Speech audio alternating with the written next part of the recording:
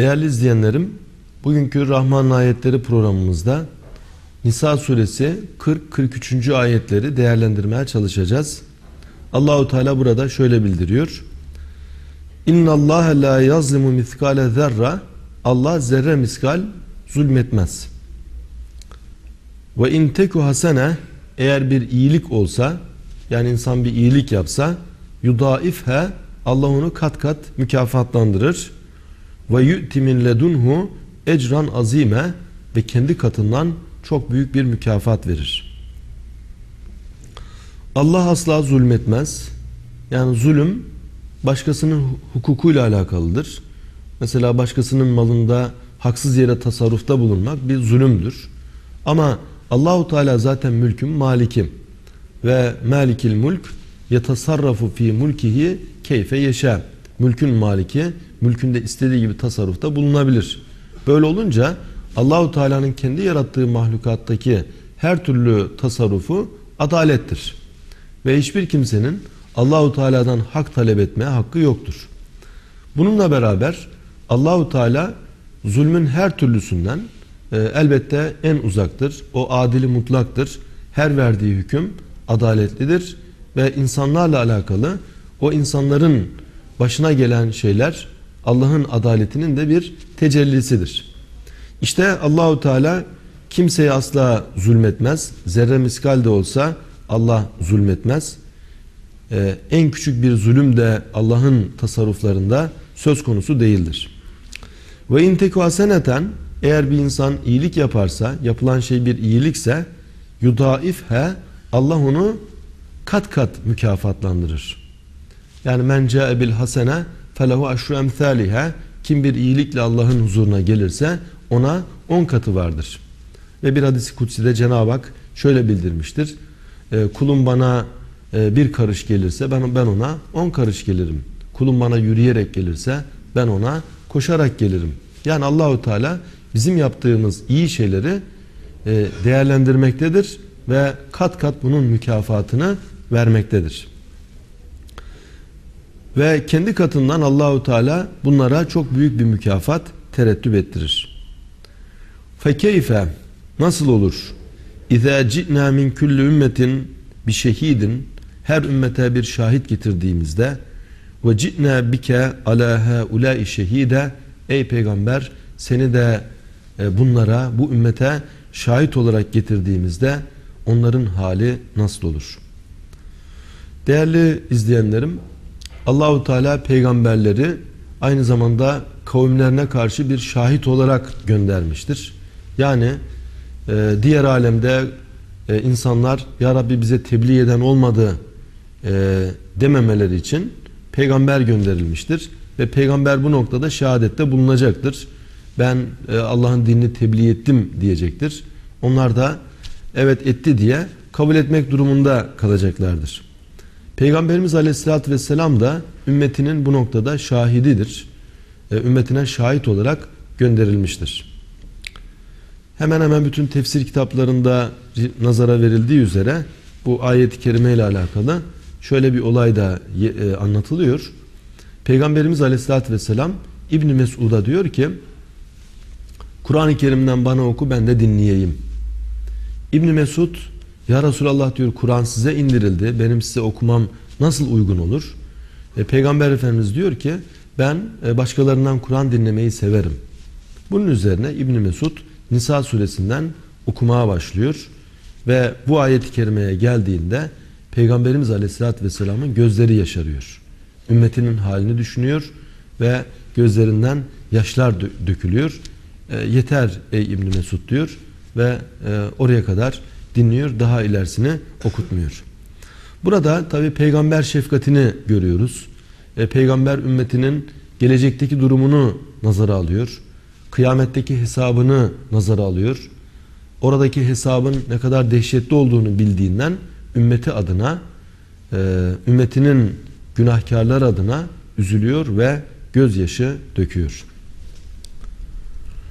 Yevme izin o gün, o hesap gününde insanların amellerinin tartılacağı günde yeveddüllezine keferu o kafirler isterler ki e, ve asavur rasul yani inkar eden ve peygambere isyan edenler isterler ki lev tusavva bihimul art keşke dünya üzerlerine dümdüz kılınsaydı. Yani yerle bir olsalardı, toprak olsalardı bunu isterler. Yani bir hesap günü gelecek ve insanlar o hesap gününde her yaptıklarından hesaba çekilecek. O gün e, Allah'a isyan eden, peygambere karşı gelen kimseler e, Allah'ın nimetlerine nankörlük yapıp peygambere de tavır alan, karşı tavır alan kimseler o zaman keşke yerle bir olsaydık, dümdüz toprak olsaydık bunu arzu edecekler. وَلَا يَكْتُمُونَ اللّٰهِ hadise Ama o insanlar Allah'tan hiçbir sözü de gizleyemeyecekler. Yani yer, yer yarılıp yerin dibine girmeyi isteyecekler. Ama neler konuşmuşsa, konuşmuşlarsa, neler yapmışlarsa e, bunların ortaya çıkmasına, açığa çıkmasına engel olamayacaklar. Ya eyyühellezine amenu Ey iman edenler La tagrabus salate Namaza yaklaşmayın Ve entum sükara Sarhoş iken Hatta ta'lemu ma tegulun e, Neler dediğinizi bilinceye kadar e, Sarhoş iken namaza yaklaşmayın Burada Kur'an'ın bütünlüğü açısından da önemli bir noktaya temas etmek istiyorum. Ayet-i kerimeler bir bütün olarak görülmezse ve Kur'an-ı Kerim'deki herhangi bir ayet Kur'an'ın bütünlüğü çerçevesinde değerlendirilmezse bazı insanlar yanlış hükümlere varabilirler. Hani birisine demişler neden namaz kılmıyorsun? Adam demiş ki la takrabus salah ayeti var. Allah buyuruyor ki namaza yaklaşmayın. Demişler devamını oku. Demiş hafız değilim. Gerisini bilmiyorum. Devamında içkili sarhoş iken diyor. Demek ki e, bunu bir bütün olarak nazara vermek lazım. Yoksa eksik olarak nazara verirsek bazı insanlar namaz kılmamayı, namazdan uzak kalmayı Allah'ın emri zannedebilirler. Bu Kur'an'ın diğer meseleleriyle de yine alakadardır. Çünkü mesela bazıları la ikrahe fid din, dinde zorlama yok. E, bu kısmını bilirler ama dinin tebliğ edilmesine de karşı çıkarlar. Evet dinde zorlama yoktur ama dinde tebliğ vardır. Dolayısıyla bir bütün olarak bakmak lazım. Sadece la ikrahe fid din ayetine bakılırsa dinde tebliğ de yok. Herkes istediği gibi yaşasın. Öyle anlaşılabilir. Ama Allahu Teala peygamberler göndermiş ve peygamber varisi olan zatlar da Allah'ın dinini tebliğ ediyor. Tebliğ edildikten sonra dinde zorlama yoktur. Dileyen iman eder, dileyen de kafir olur. İşte burada namazla alakalı sarhoş iken namaza yaklaşmayın. Malum e, İslam öncesinde içki yaygındı. İnsanlar günlük hayatlarında e, içki içiyorlardı. Ve namaz kılan nice Müslüman e, o zaman içki de içiyordu. Henüz yasaklanmamıştı. Allahu Teala burada en azından kısmi bir yasaklama getirdi. İnsan namazda neler okuduğunu bilmeli ve sarhoş bir şekilde namaz kılmamalı. E, günümüze bakan yönüyle e, artık e, biz Kur'an-ı Kerim'de içkinin kesinlikle yasaklandığını bilmekteyiz. Bundan dolayı namaz kılmadığımız vakitlerde içebiliriz gibi bir hüküm söz konusu olamaz. Ve içkinin her türlüsü, azı da çoğu da her türlüsü yasaklanmıştır. Ancak ayet-i kerimedeki sarhoş iken namaza yaklaşmayın ifadesi sarhoşluk sadece içkiden dolayı değil, İnsan uyuşturucudan dolayı da sarhoş olur. İnsan gaflet sarhoşu da olabilir. Para sarhoşu olabilir.